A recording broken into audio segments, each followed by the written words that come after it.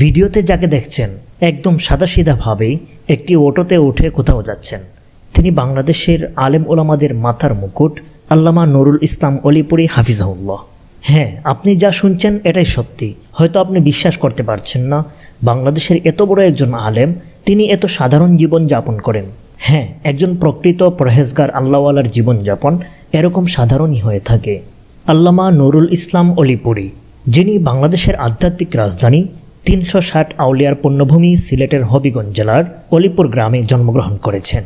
কালের পরিক্রমায় তিনি একজন সাধারণ মানুষ থেকে মহামনীষীতে রূপান্তর হয়েছেন।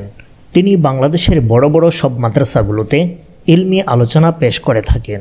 একজন সাদামাটা মানুষ, কাটা পাঞ্জাবি এবং লুঙ্গি পরেই তিনি বিভিন্ন মাহফিলে অংশগ্রহণ করে থাকেন।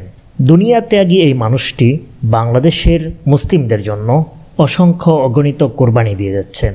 বাংলার মানুষের ইমান আকিদা এবং তাহজিব তামাদ্দুনকে রক্ষা করার জন্য বাংলাদেশের বিভিন্ন প্রান্তসহ বিশ্বের বিভিন্ন দেশে ধর্মীয় জ্ঞানগর্ভ আলোচনা তিনি করে থাকেন।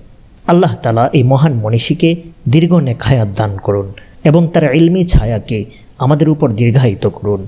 আমিন।